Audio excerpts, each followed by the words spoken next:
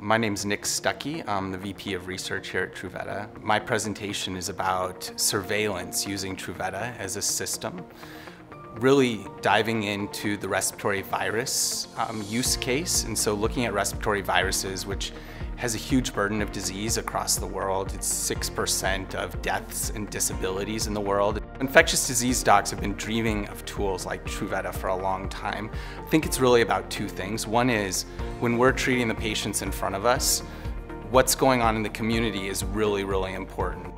The second piece is we have tools to help control disease in our communities. Those are things like increased ventilation or social distancing or masking, things that we're all way too familiar with. And flexibility is really important because we don't know what's coming next. And so the ability to adjust to any sort of outbreak situation, include new measures of disease, new comorbidities, new outcomes, to be able to adapt on the fly is really critical and the system that we have here enables that.